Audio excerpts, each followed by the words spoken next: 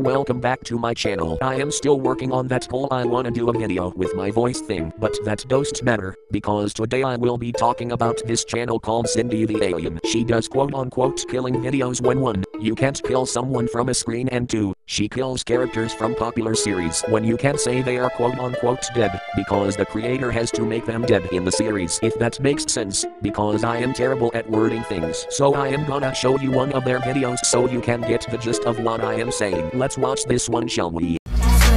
At least the art is nice. Why is this taking an eternity?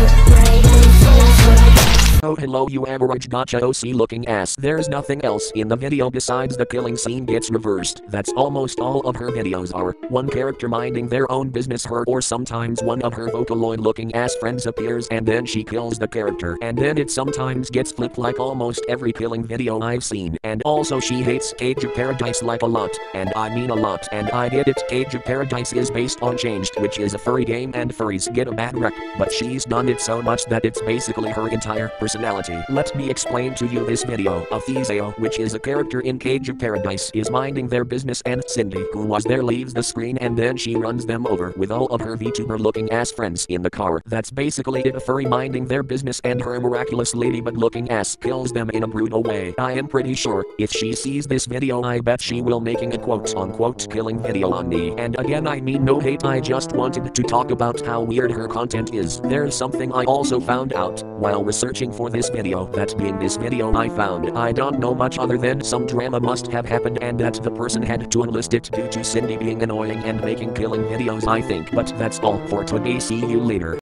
Jack, what your gun sound like?